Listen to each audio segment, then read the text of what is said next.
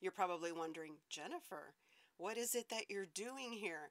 So, as you all know, or maybe don't know, I've been spending a lot of time in the live audio space, particularly on Twitter Spaces. And I did a Twitter 101 last week, and that got some good good reception. You all appreciated that I put that together. It was a lot to un- to cover. It really was. So um, I got some feedback on that too. That it was really great. That they a few folks had to watch it a few times to kind of grasp everything and to get a really good understanding.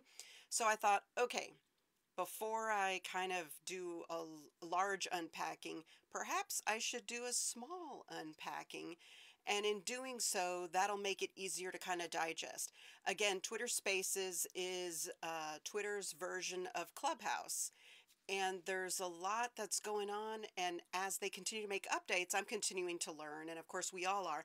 But there is something kind of cool if you're going to host a space here's a really cool feature and i'm going to switch to the phone mode.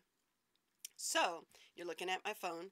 So if i go into twitter and i go remember press and hold and i click on space and i title my space and let's see if this time yes Yes, it did.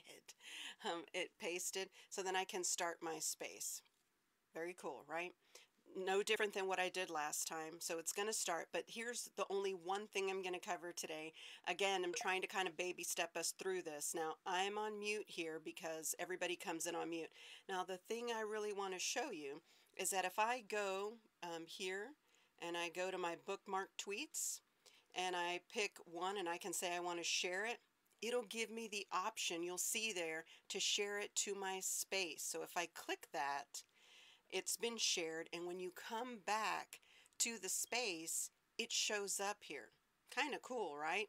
So you're thinking, okay, well, okay, Jennifer, yeah, that that's kind of cool.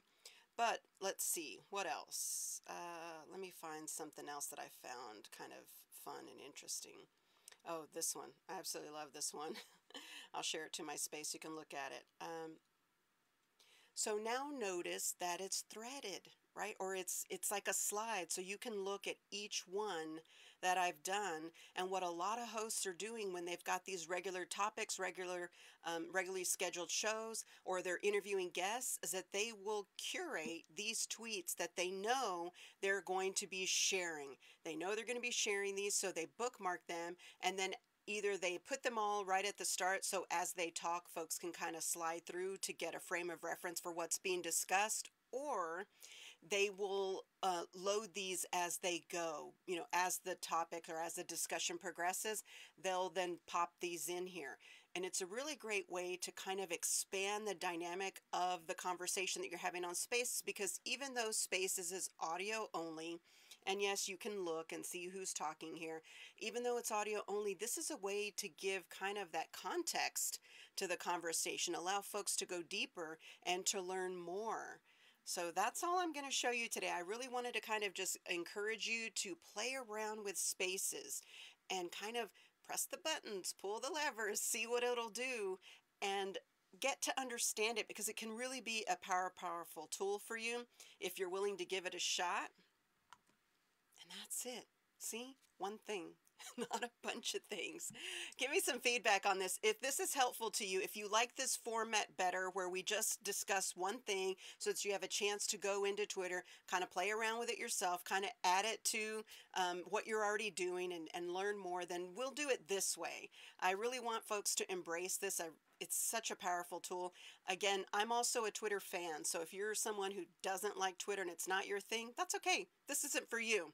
Um, I'll be doing stuff on Clubhouse and Hotline and other things in future, but I really want to unpack Twitter Spaces, and, and I feel like based on the feedback I received on the video I did last week, that the better way to do it is just to uncover individual features, kind of allow everybody to digest it, play around with it, and then see what they can do with it if they want to do some fun stuff. If you're on Twitter Spaces, um, tag me in invite send me a dm bring me in i'd love to join you. If you're still sitting on the sidelines not sure this is your thing and you kind of want to dip your toe into the stream i'm happy to walk you through. These little tutorials are meant to kind of warm the waters for you. Um, but again if you need someone to join you in that hit me up on DM. I'm at ePodcaster. Happy to join you and help you learn how Twitter Spaces can be a great content creation tool for you. So I wish you well, and we'll talk to you next time.